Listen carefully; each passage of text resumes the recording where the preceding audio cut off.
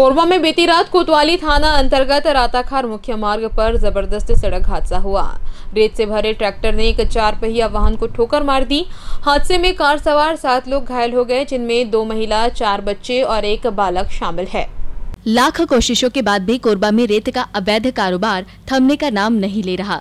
कड़े नियम बनाने के बाद भी रेत का काला कारोबार जारी है, जिसके कारण हादसे भी हो रहे हैं।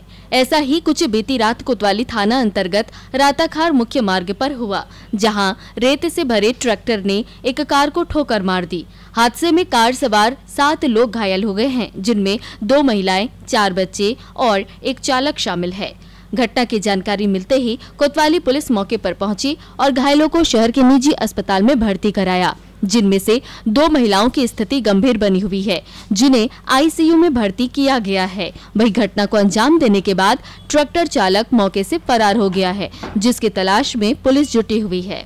कोरबा से मनोज यादव की रिपोर्ट।